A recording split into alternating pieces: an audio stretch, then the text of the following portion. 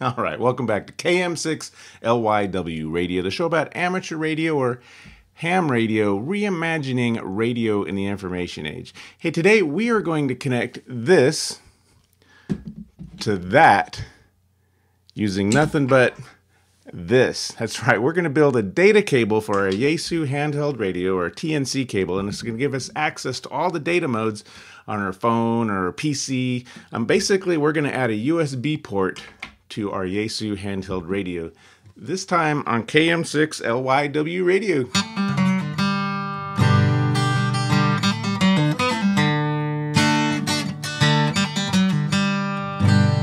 All right, I don't know. We do too much Led Zeppelin, right?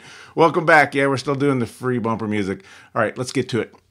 All right, so the question today is how do we connect a Raspberry Pi or TNC cable up to a Yaesu HT? And this could be an FT1, FT2, 3, or 5. They all use the same speaker mic jack. So there's no USB port here like there is on the more expensive radio. So we can't just plug our Raspberry Pi with a USB cable into this. We need some sort of radio adapter. Um, we've got, uh, for let's say you have a Baofeng radio, um, we can use an AIOC device, which has these cool prongs already set up. And we can just plug it in and rock like that. And now we got a USB port on our Baofeng, and we're done, right? Pretty cool device, and it really is set up for the Baofeng and Kenwood 2-pin interface. But your Yaesu, your 1, 2, 3, or 5, doesn't have these pins. All we have is a uh, speaker mic jack um, where you can plug your speaker mic in there and it's a four prong or TRRS plug. So how do we get from our Raspberry Pi uh, to USB and into this radio, in, into this jack somehow? Well, we need a bunch of parts. Yaesu does it a little interestingly um, in the fact that they multiplex one line between the microphone and the push to talk pin. So we really only need three wires and uh, a couple of components here. So Stuff I've gathered together so far, we're going to leverage the AIOC device, the all-in-one cable that has USB and then the audio in, audio out, push to talk and ground here. But we're not going to use these prongs because we're using a Yaesu. So I'm going to throw this over here. And I happen to have a brand new AIOC that doesn't have those prongs on it. So we're going to see if we can solder onto those pads. Swing. I haven't opened this yet. Hopefully there's an AI, AIOC device in here. We're to find out together here. And I'm to do it without destroying the device or cutting myself severely. If I can get this open. All right, the AIOC, the all-in-one cable, really cool. And I ordered this one specifically so it wasn't going to be assembled. There's lots of direct marketing in there. I think we got it that is trash. So, you know, I actually got this on eBay. It was a US distributor. These are made uh, by Mark in the UK. It's pretty cool. And he's actually got the prongs on here. But again, we're not going to use the prongs. And here is the AIOC device. Cool. And it's got a fancy, some fancy colors on it too. All right, so we're going to adapt this uh, so we can hook up uh, this is the USB port, and then there's some pads on here. One, two, three, four, and then there's five, six pads on there. And we're going to use some, what I what I use is an instrument wire. This is uh, like for guitars. Um, I don't know, you can just buy a small roll of this. And we only need three conductors, which is kind of interesting for the Yaesu because it's going to multiplex the mic and push to talk line. So we've got these uh, these three wires here that we're going to solder onto this, and then the other end of this is going to go onto the TRRS connector like that. And get this out of the way. I'm not doing Baofeng today. The uh, two other components we're going to need is a resistor at 2K, a 2K resistor at 8th watt, smallest you can get, and a 10 microfarad capacitor. Now these two things, I mean, I know it sounds scary, but these two things allow us to multiplex uh, the push to talk and mic signals into one wire. So we really only need three wires as long as we uh, implement this. If you want to see how Yaesu represents this, you can look here and you can see how they recommend you build a TNC cable. Kind of cool. Uh, this is the TRRS connector and then it, we're not going to use this cable. But what's interesting is this little circuit here between the mic and the push to talk is our capacitor and our resistor. That's it. So we're going to solder a, a capacitor and, resistor in series between the mic and push to talk. And in between the two components, we're going to actually send this to the mic wire that's going to go to our radio. So that's it. That's how we get the uh, the, the three wires. Um, so we got uh, the tip is going to be receive audio, and then no connect, and then the second ring is going to be the uh, the transmit audio microphone and push to talk. I know it's hard to get your head around that. And then of course the sleeve is going to be ground. So let's see if we can implement this little schematic here that Yaesu gave us so we can connect our Raspberry Pi to our AIOC cable via USB. And then we're going to do a couple of surface mount uh, or a couple of discrete components on here. And then we're going to send three wires to our Yaesu using the TRRS adapter like this. And we're going to plug directly into the speaker mic here. So this is going to work on all of the Yaesu HT models. Um, let's see if we can put this together. And this is this is the first time I've done this, so um, we're going to learn together if this works or not. All right, here's the front and back of our AIOC device. We got the front over here, we got the back here, and uh, there's solder pads. I guess I can do this. It's like the back. That's the front. The important, the important takeaways is, is there's solder pads, one, two, three, four, and then on the back there's going to be five, six. So uh, this is going to be audio out, the receive audio, and then uh, no connect, no connect, then audio in. That's our transmit audio is here. And on the back, we're going to have a ground pad, and this is going to uh, pull push to talk to ground, this, this pad here. So uh, the Yaesu cable is going to add these two components, the capacitor and the resistor, which we've got right here. So that's the schematic we're working on. So I've got the capacitor and resistor, and I'm going to twist these together first. I'm going to twist the negative leg, the one with the stripe. The short leg is negative. I'm going to twist this together with the resistor. Let's, oh, we're going to try anyway. And we need to be able to center tap this too because the uh, we need to also solder a wire to where these are connected. So there is our resistor and capacitor. We're going to solder these uh, negative leg of the capacitor to one end of the resistor. And I actually have all my solder stuff right here. Let's see. I'm not going to pre-tin or anything. I'm not applying flux. You probably should, but this is just kind of a mock-up. We're going to see how this goes. Heat this up and apply solder. Keeping in mind we're going to solder a wire to that joint as well. All right, solder our resistor to the, one of the pads on the back here. Without making a huge mess.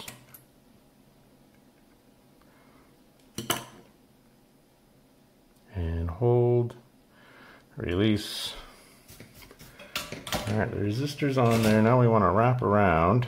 This is going to be a solder point for our microphone wire. Now this the other side, the positive side of the capacitor goes over here.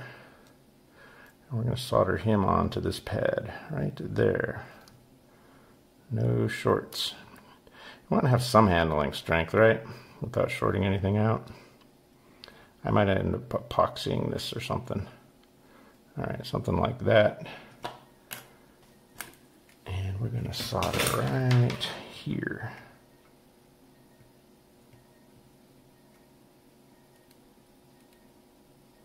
just like that. Now the capacitor is soldered on. All right, let's start with the, uh, not start, but let's go with the ground wire next. I'm gonna heat shrink all of this stuff together. What I might do is pre-tin, because I only have two hands and you need three. Pre-tin that a little bit. Yeah, big old glob of solder. And while you weren't looking, I pre-tin these wires too. So we're going to go ahead and attach the ground wire right here and we're not shorting out with any other components. And I feel grounded. I really do. Easy enough. Um, according to our little schematic, the audio out receiver is going to go to the top little pad. That's going to be our RX audio is going to go right here. I'm going to pre-tin that guy.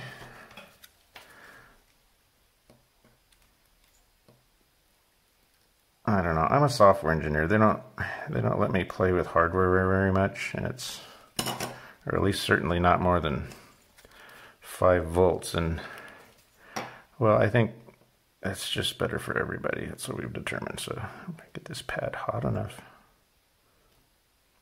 Did I bridge them both? Probably. I might have to solder suck that one. I'll put an ohm meter on it and we'll find out. All right, used a magnifying glass. I don't think I bridged these two pads, but uh, the ohm meter is reading infinite ohm, uh, infinite resistance there. So I didn't, I didn't bridge these two pads like I normally would, uh, especially when you're soldering live. So let's uh, let's put this uh, RX audio wire here. I know this looks awkward because man, I don't have my glasses or my I can't really use my magnifying glass because of the phone. So I am. This is solder by feel. Solder by feel is what we're doing. I'll give it that a little more bend. I'm just going to hold this. And uh, having done the pre-tinning, I can just melt these into each other, no problem. All right, about a second degree burn on the index finger. Um, when you when you're doing this, plan time at about an extra 10, 15 minutes for for medical treatment um, to treat your your burns. So that's that just looks horrible, but uh, hey, it's gonna work. We got continuity. And then the red guy, remember I said we're gonna have to attach transmit audio or microphone to this thing here, the in-between point between the resistor and the capacitor. So let me see if I can bend this guy around and we'll solder him on there. Now, as far as handling strength goes, normally I would say, hey, you know, make sure you put all of your uh, a bunch of shrink wrap and all that stuff on there. But I would think what I'm going to do is just wrap all of this with um, electrical tape, or if I can get shrink wrap that's big enough. All right. And then if you already burned your index finger, you know for sure you just burned your thumb doing that. So I think the uh, microphone wire is now attached to the between the resistor and the capacitor. So I think this is hooked up. So we've got USB input here, and then we've got uh, push to talk slash uh, transmit audio, which is the same wire. And then we've also got the red wire is going to be our uh, receive audio.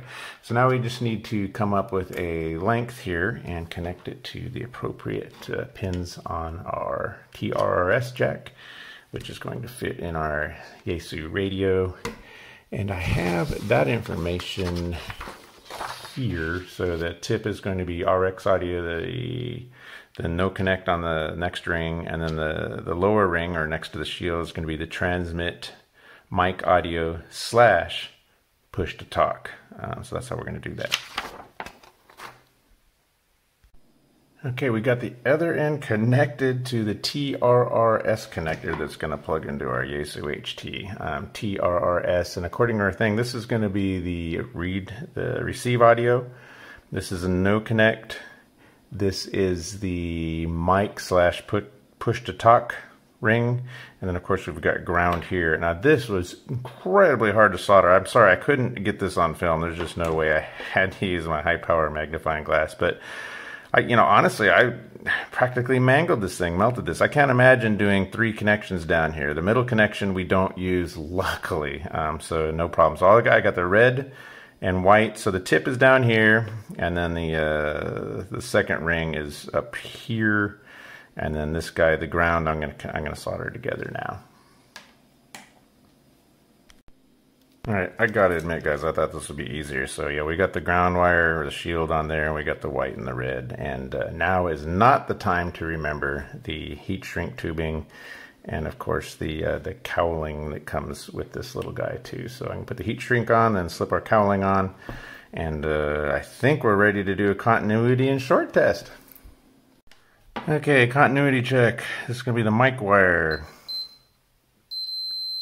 He's on the ring next to the sleeve. Okay, let's check the ground.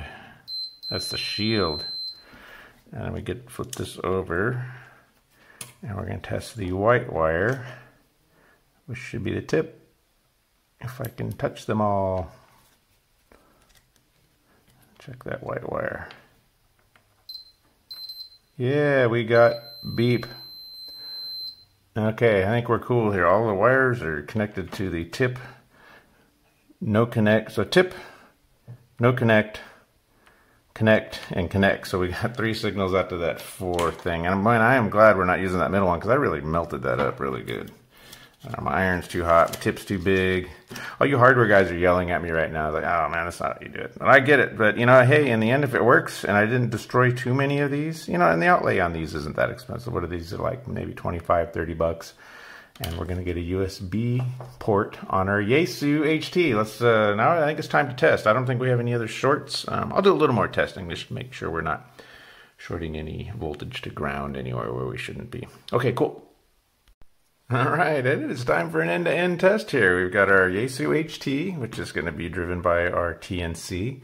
We've got our AIOC cable that's suitable for any Yaesu HT. And this isn't just the XDR or FT series. This would apply to the other uh, more budget handhelds that have no APRS capabilities whatsoever.